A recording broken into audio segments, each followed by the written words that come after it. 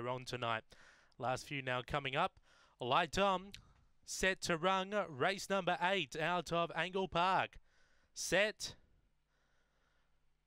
away. Brief was fairly away, is mustering a rail now, but there's superior speed from Psychotic Babe. Hunting up now is Brief. They head into the first turn, and Brief will maintain the rail and league by a length on Psychotic Babe with Aston Resort, Stranger Tides, Express, Black Our Boy, Jake, and Flora Colossus. Off the back, Brief opened up by three. Stranger Tides around the outside, Psychotic Babe and Aston Resort behind those. Brief on top, doing it well over Stranger Tides and Brief will be too good. Second was close, either Aston Resort or Stranger Tides, and fourth was between Psychotic Babe and Express Black.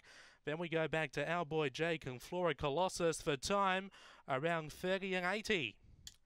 After race number eight, for one too good, Brief for Kim Johnston. Uh, was moderate away, but maintained the rail into the first turn and got up for the win. Second will be number three, Aston Resort for Matthew Payne. Third, number six, Stranger Tides for Kieran Corby. Fourth, number seven, Psychotic Babe.